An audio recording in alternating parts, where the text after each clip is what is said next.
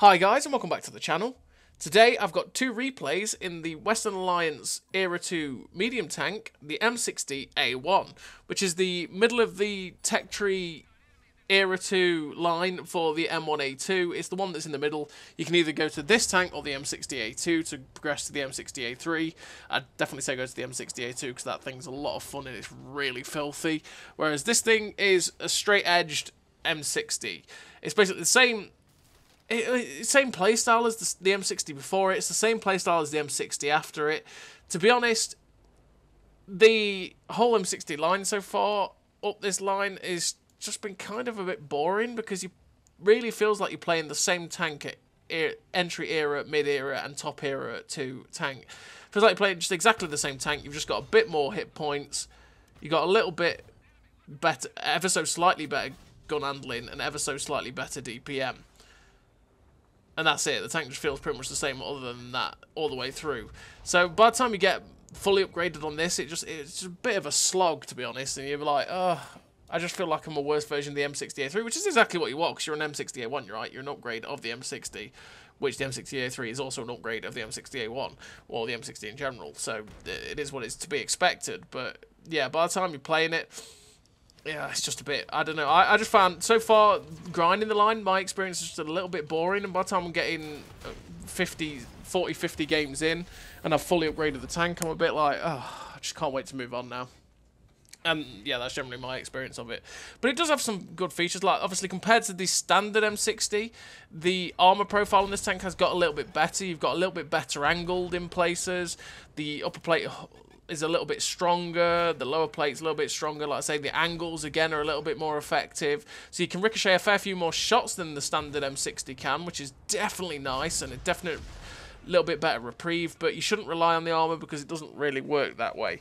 The gun handling, like I say, is pretty damn decent. The APCR, or the standard AP pen, sorry, at 421 is really good. Again, you're not going to struggle with the FP4211s that are really prevalent in this era. And then the HE rounds are dirty with 250 pen and 490, 590 alpha, sorry.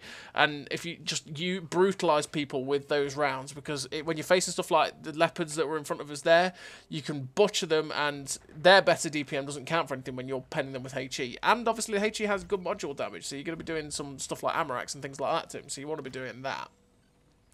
But yeah, I don't know for me, it's just it, as a grind, it's kind of just felt a little bit boring. Uh, personal preference is always the way it is, right? Uh, it's okay. Uh, so I'm not. It's not a. It's not a bad tank. It's a pretty competitive tank. I just felt like I was playing a worse version of the top era three tank. And when you stock as well, it feels like you've taken a massive step backwards because you're going right. I've got to grind this gun, which is a pretty decent gun, but I've grind through it with this stock gun now, which is terrible and then get to this gun, and it's just a bit like, ugh, oh well, it is what it is. So in terms of a crew on the M60A1, it's the same as I run on the M60 and the M60A3. I run Born Leader, Rapid Reload, Sixth Sense, Situational Awareness, Trap Mechanics, Steady Aim, Snapshot, Run and Gun, and Off-Road Driving.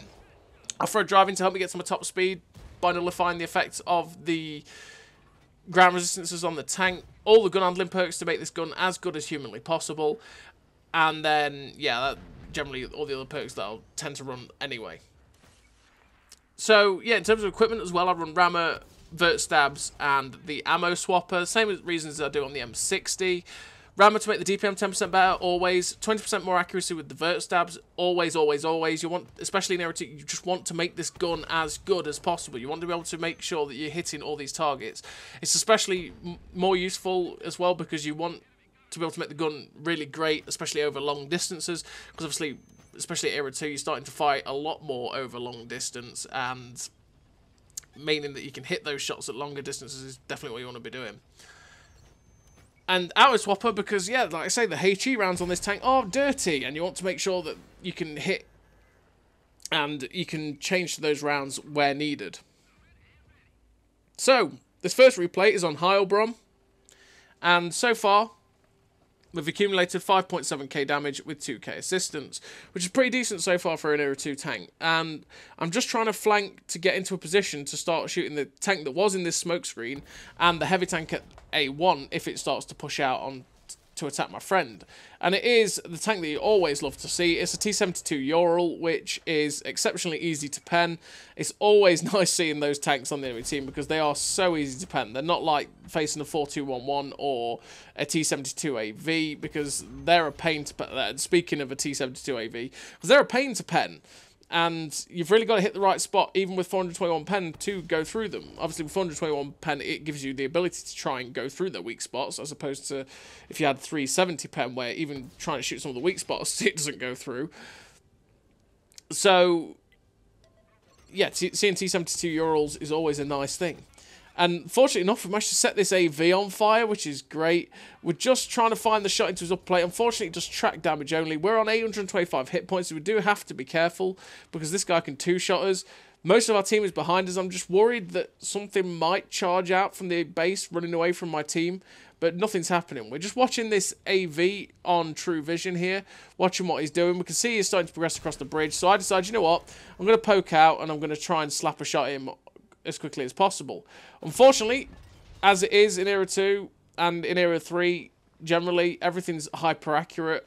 And even though he was doing 70 kilometers an hour over the bridge. He managed to just slap a shot straight at us and hit us easily. Penders, which puts us down to a one shot, which means we've got to be really careful when going against this guy.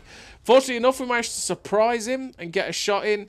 I'm just trying to chase him round so I can get a shot at him and kill, finish him off. But he manages to use his superior mobility that that tank has to get away round the side of this rock. So now I'm just being careful because obviously, naturally, I'm a one shot for this AV. And I've got my team coming. I'm going to wait for my team to join us so that they can take a bit of the flack because if this guy decides to shoot at me, I'm dead. Now the team's coming in, it's time to try and get in and get a shot at him. Unfortunately, the shell must have hit his upper plate and bounced and we don't quite get the damage in. But we do finish the game with a really nice total for the M60A1. We finish with the victory, 3 kills, 9.6, nearly 9.7k damage, 2k assistance as well. It's what, 11 and a bit k combined. Ace Tanker, 1767 base XP. A really nice game for the M60A1 and the tank, like I say, it's not it's not too bad. It's just it's just sort of as with the M60, it's a tank that you're going to play, you're going to grind through just so you can move on to be able to play the top era tank in the M60A3. Like, for me personally, I, I'm never going to play the M60A1 or the M60 ever again now that I've ground through them because there's no point. I might as well play the M60A2 for the memes with that 152mm ATGM launcher, which is, it's really memey, it's great fun tank, or I'm going to play the M60A3 because that's the top of competitiveness, right? Because it's got the full features. Although it is still really annoying that you have to grind out the top the, the top gun that you've been using on the M60A1 and on the M60. You can only unlock and use after you've finished the grind for the M1 A, M1 Abrams. Sorry, weird. is what it is. So we're on the second game, and we're on Fisherman's Bay, and we're taking this little position on this ridge because well, it's a good little position to take. You can get some good early damage out, and to be honest, depending on the way teams set up, sometimes you can also get a lot of damage just by staying here. And we're at 600 damage because unfortunately our Hesh didn't pen the Magach. It's Magach 5, so the Hesh was never going to, well, the Hep, it's not he, he, Hesh, it's Hep the HEP was never going to go through that guy's lower plate because of the spaced armor. Like I say, just when you're using the HE, you have to know what you're going to shoot at and what you're going to pen. And when you know a tank's full of space armor, like the AV, like a Magach 5, you're not going to go through it with HE. You've got to switch to back to your standard APCR. So we get a nice shot through the Magach there. We've got a shot through the T-72 as well. This Mobat is up on this ridge line, which the Mobat is a fairly easy pen, so we're going to slap the shot straight through his little cupola he's got. We're switching to HE, so we can slap it at this light tank, because if we pen the light tank, we're going to do a lot. And if I didn't pen, I was hoping that I might actually track it in place, which would nullify the threat. We do slap another shot his back end. I don't think that actually penned again, because it does have a little bit of space armor on the back. That tank, it's really annoying, but it is what it is. We can't quite get a shot of those two guys over there, though, so we're just going to keep our eye on it. But we've got to keep our eye on the guys in front, too. But the enemy team is progressing on the flank in front of us, so we're going to start trying to help our guys in the town. We get a big shot into the AV there. Just turn our attention just in time to block a shot from the other guy in front of us. Now I've shut down the AV, I'm turning my attention back to the guys in front of me so that I can block the shot if it's incoming. And again, we're just looking for the shot into that medium tank there. And we get that one in. the TR580. We're just trying to get another shot into it. Unfortunately, it doesn't go anywhere near him, which is a shame. Now there's the T72M1 through there. We ricochet off that guy because it's not the Ural, and unfortunately the T72M1 actually has some armor to it, unlike the Ural, and we ricocheted. We get a nice shot into that light tank that's behind us, but now they're pushed into that K2 position. This position I'm in is not a good place to be, because if they start getting shots at us from over there, it's not going to end well for us because we're not very safe from them whatsoever. I'm just watching for shots at these guys if they were to overpoke and attack our guys. There we go, the TR-85 has, but unfortunately it just goes wide and hits the upper plate and bounces on that guy.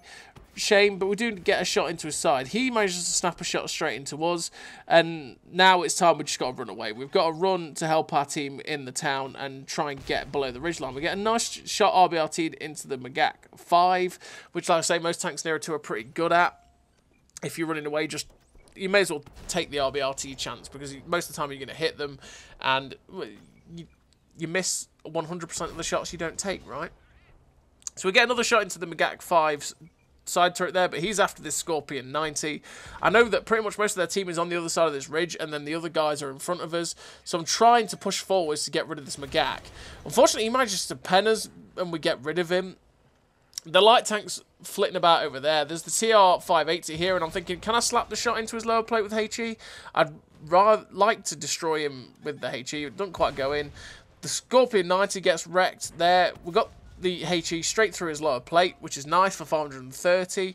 I say every opportunity you get, if you can, slap the HE rounds in. Try and pen people with the HE rounds and improve your DPM with these rounds if you can. Because by doing that, again, your DPM gets way better. And module damage increases your chances of stuff like ammo racks. So we do have the APCR rounds in. Unfortunately, the T-72 just got below the ridge as we fired at him, so we unfortunately missed. But I'm going to move now into a more aggressive position to try and get some shots at these guys while they're trying to focus my medium tanks and while they're pushing in very vulnerable positions. There's a Turan 6 in front of us, which doesn't have the best gun depression, but naturally he, we're above him, so he doesn't need the gun depression, he just needs elevation. We get a nice shot through the front of his turret because it Turan 6 has basically no no turret armor and no armor whatsoever. It's a pretty terrible tank.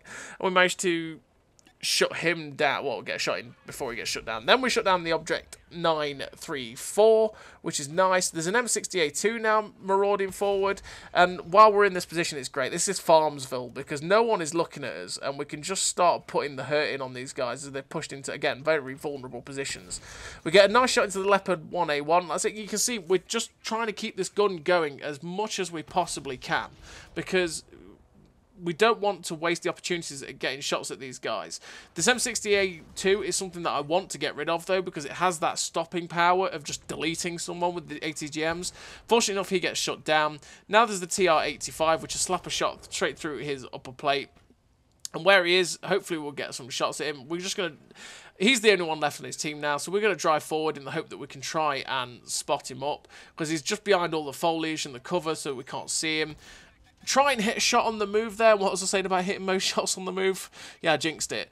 Unfortunately, we didn't quite hit him, but he's just playing careful not to get hit by us, but he makes a mistake and pokes out just a little bit too much. And we finish the game with a really nice total for the M60A1. Finish with the victory. 5 kills, 9.6k damage, 950 assistance. Ace tanker, and 1851 base XP. Really nice game for the M60A1. I say it's not a bad tank. It's just that the M60A3 exists, and why would you play the M60A1 if you can get the M60A3, which is basically the same tank but better? That's my problem with the M60 and M60A1. You just they don't have anything that makes me want to go back to ever play them again. So as always, everybody, thank you very much for watching. I'll see you next time.